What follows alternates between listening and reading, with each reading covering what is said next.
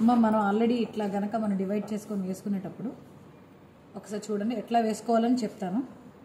ఇట్లా మనం ఇట్లా అనుకోవాలని చెప్పాను నేను. గుర్తుపెట్టుకోండి ఇట్లాగా లైనింగ్ అనేది ఇట్లా ఉండాలి. ఎత్తు వదలండి. అన్నిటికీ నేను వదలమని చెప్పలేదు కానీ దీనికి వదలాలి. ఎందుకంటే గ్లాస్ కలర్స్ వేసేటప్పుడు మనం ఫిల్ చేసుకునేటప్పుడు అవి బయటికి వెళ్ళిపోతాయి అన్నమాట.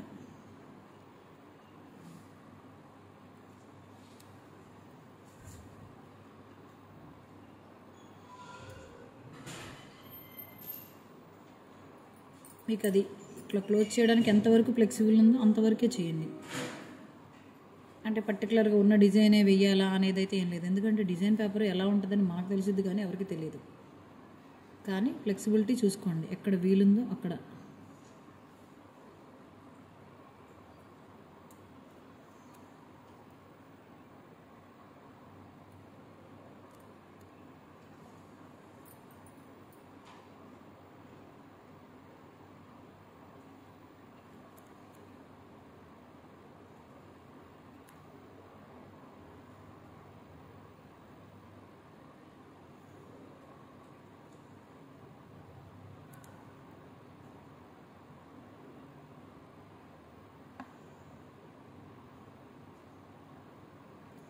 స్లోగా వేసుకోండి. ప్లస్ ఈ డైరెక్షన్ అనేది మీరు తిప్పుకుంటూ ఉండండి.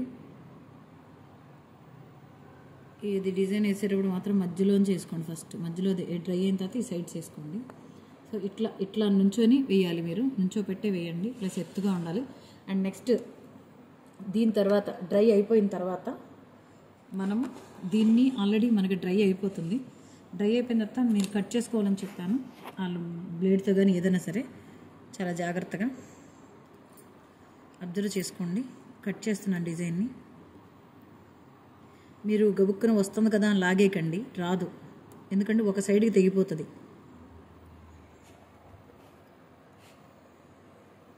మీ దగ్గర ఇది లేనప్పుడు బ్లేడ్ తీసుకోండి. బ్లేడ్ అందరికీ అవైలబుల్ ఉంటుంది.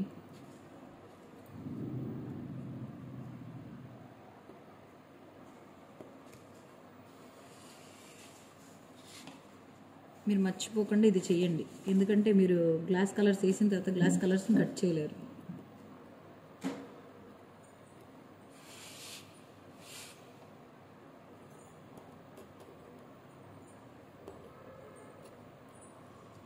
సో ఈ నాలుగిటిని చాలా జాగ్రత్తగా విడదీస్తే మీరు కట్ చేస్తే చాలా జాగ్రత్తగా విడిపోతుంది.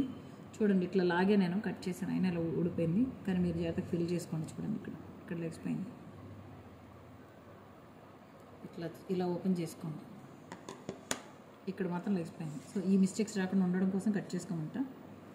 అండ్ ఇక్కడ నేను డిజైన్ క్లీనింగ్ చూపిస్తున్నాను. బ్రౌన్తో వేసుకున్నారు కదా డిజైన్ క్లీన్. ఈ మీకు జాగ్రత్తగా పెట్టుకోండి గట్టిగా రుద్దేయకుండా.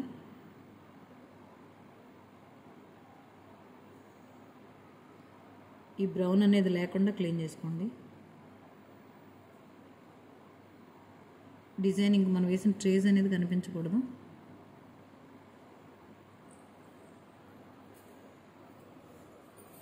ఒకవేళ ఎక్కడైనా డిస్టర్బ్ అయితే మళ్ళీ మీరు త్రీ డీ కోన్ వేసుకోండి.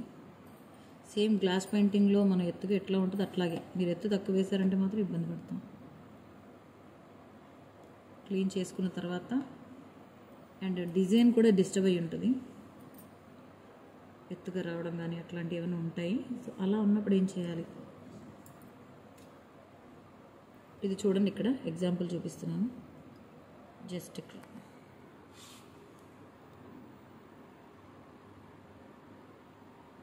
ఇంత మైన్యూట్గా నేను ఎందుకు చూపిస్తున్నాను అంటే మీరు వేసేటప్పుడే త్రీ కొని జాగ్రత్తగా వేయండి. గీతలు పెట్టేయకండి. గీతలు పెట్టారంటే పోతాయి. అండ్ ఇలా ఎక్స్ట్రా వచ్చిందంతా కూడా మీరు కట్ చేస్తే ఊడిపోతాయి.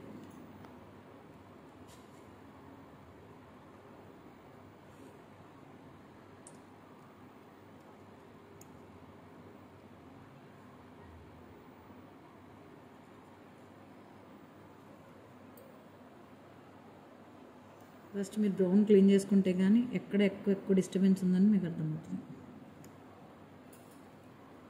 దీనికన్నా చిన్నది కట్టర్ ఉంటాయి కదా కట్టర్లు అయితే ఈజీగా కట్ అవుతాయి. కట్టర్ ఈజీగా లేచిపోతుంది చూడండి ఇక్కడ కూడా ఎక్స్ట్రా ఉంది.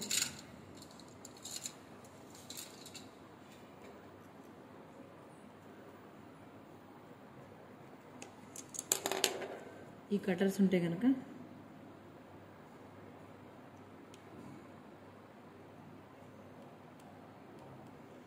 దీన్ని బట్టి మీరు ఒక్కసారి ఆలోచించుకోండి. ఎన్ ఎక్కువ ఒకే లావుగా వేసారు కదా ఇక్కడ చూడండి ఇక్కడ.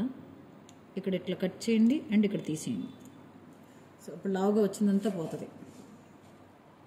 అండ్ ఇవి కూడా. సో ఇక్కడ బ్లూ పౌడర్లో మాత్రం త్రీ కోని క్లీన్ చేసుకోవడం ఇట్లా. క్లీన్ బాగా చేసుకున్న తర్వాత మనం కలర్ చేసుకునేటప్పుడు మీకు డిజైన్లో ముందే చెప్పాను. మీరు ఎట్లా వేసుకోవాలనేది ముందుగానే జాగ్రత్తగా క్లియర్గా చూసుకోండి. అంటే ఎక్కడెక్కడ డిజైన్లో డార్క్ బ్లూ వేసుకోవాలి లైట్ బ్లూ వేసుకోవాలి అనేది ఇట్లా చూసుకోండి అని చెప్పాను. సో ఇక్కడ నేను రెండు ఫిల్ చేసి చూపిస్తాను. డిజైన్ లోపల నుంచి ఎప్పుడైనా వేసుకోండి బయటికి. సో ఇక్కడ డార్క్ బ్లూ చూపిస్తున్నాను. ఇట్లా డౌన్వర్డ్ డైరెక్షన్లో వాడుకోండి.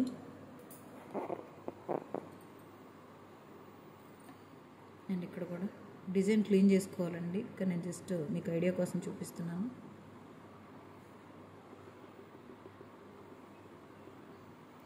ఎప్పుడైతే ఇక్కడ వేసారో ఇక్కడ కూడా వచ్చేయాలి.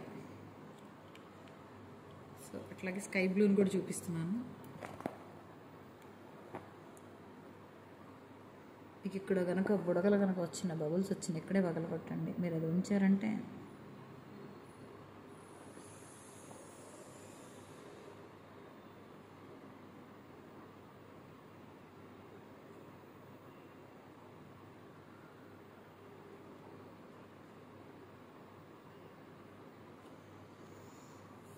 త్రీ డీ కోన్ అవుట్లైన్ నేను వేసింది కాదు స్టూడెంట్స్ వేసింది అందుకే అన్ఈవెన్గా ఉంది. మళ్ళీ మీనాక్షి మేడం ఇట్లా వేసారని అనుకోకండి. సో మీకు ఏది అనిపిస్తే అది టూ కలర్స్ ఎట్లా అయినా సరే ఈ టూ కలర్స్ వేసి ఫిల్ చేయండి.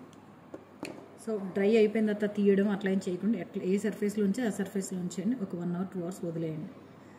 అయిపోయిన తర్వాత దీన్ని మళ్ళీ జాగ్రత్తగా ఏమన్నా కవర్తో పెట్టి సెక్యూర్ చేసుకుని కానీ నొక్కేయకండి. ఓకేనా?